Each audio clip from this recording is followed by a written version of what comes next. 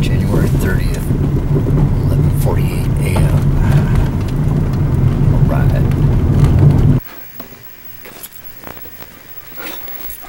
Come on, Maggie.